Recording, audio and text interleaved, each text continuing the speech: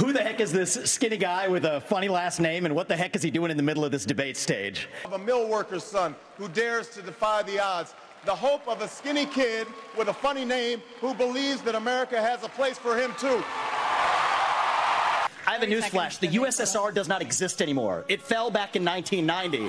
You said Russia in the 1980s are now calling to ask for their foreign policy back because you know, the Cold War has been over for 20 years. Because for a long time, we have professional politicians in the Republican Party who have been running from something. Now is our moment to start running to something, to our vision of what it means to be an American today.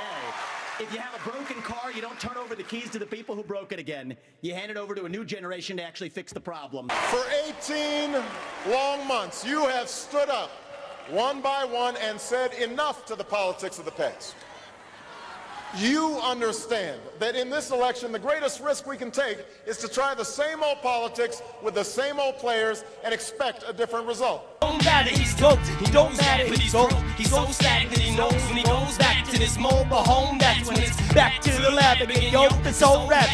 Better go capture this moment and hope it don't catch. Lose yourself in the music the moment you own it. That was the song Oval Office. Oh my gosh, I can't believe I'm there. It's so much more intimidating than if it was square. Opportunity knocks and I can't stop. I'm here with the president and my pops. And yo, the mic drops.